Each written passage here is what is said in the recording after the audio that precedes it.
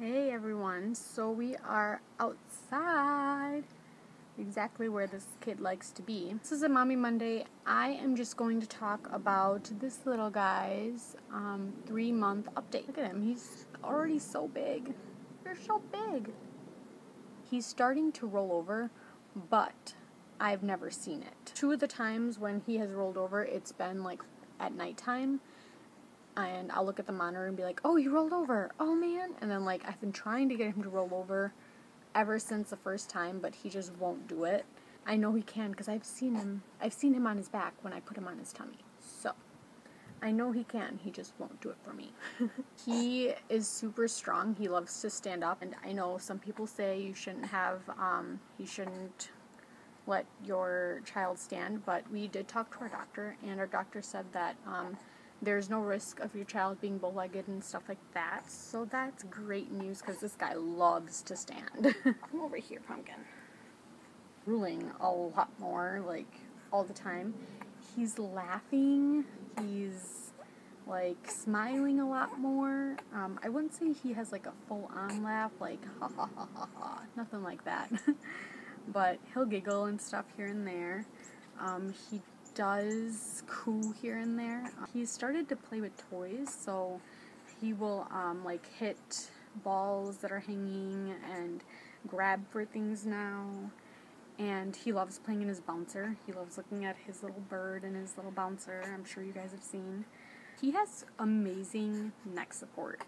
I mean, I'm not holding his neck at all right now, and he's just, he's fine tummy time is not as bad as it used to be. He a lot of times he'll lay there and he'll pull himself all the way up to the point where his front of his chest and his head are all the way off the ground, which is amazing. He used, he never did that before. I wouldn't say he enjoys tummy time, but he tolerates it. He'll actually try to like move around and stuff, you know, kick his legs out. He's not just instantly crying like he used to before. He loves to be moving around constantly. Like in baby boot camp, if I stop for even like two minutes, he starts just bawling. He's like, no, no, no. And then the second we get moving again, he's fine. So for his sleeping updates, he has slept a couple nights um, straight with like eight hours or six, six to eight hours, seven hours, you know, here and there. Um, so he has been a much better sleeper, but then he also has his nights where he'll wake up every three to four hours still. So it all kind of depends. We have not switched to cloth diapers yet, and I still do want to. We just haven't, with the move and all that kind of fun stuff, we've just been so busy. Our finances are kind of going in other places, so we haven't yet, but we do plan on it. Okay, I'm back. So Bam got a little fussy, so I decided to go put him down um, in his crib.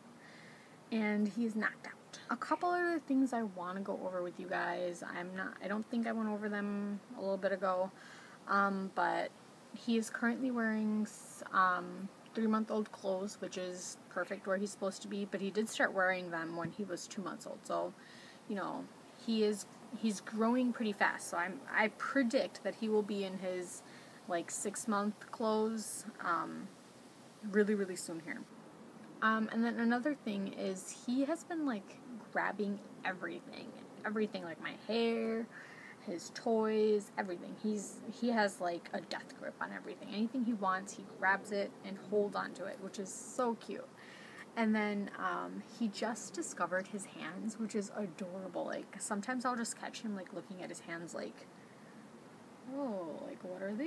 And he'll like move them around and just look at them. It's just so cute. So that's really, really cool. Um, let me think. He's also been sucking on like anything and everything. Like I'll have my hand by his mouth and he'll start sucking on it. Or um, if he's like on my shoulder, he'll start sucking on my shoulder. Or if he's like in his bouncer, he'll start sucking on the edge of his bouncer. Like he'll just suck on anything he can. So um, I'm actually going to bring out his teething toys and just let him suck on those and play with those and stuff, just so he has something new to play with. And um, I don't think he shouldn't be teething now, but I think he's just going through a sucking phase. So just something to suck on. Um, probably stick some in the fridge and get that cool cold sensation. See how he likes that? I bet you he'd love it. Besides that, he's been really, really observant. Like, he just likes to look around and explore. Like, he loves being outside. He loves just just exploring. He's he is not a kid that likes to stay inside, and I hope that never changes because I do not want him, you know, inside, cooped up, watching TV and playing on his electronics. Like, no, I want you outside and playing and being active. So, already a great start. He is like the biggest scaredy cat ever. He he gets scared like that. Like you'll make like a noise all the way in the kitchen and he'll be in the living room and he'll be like, What was that?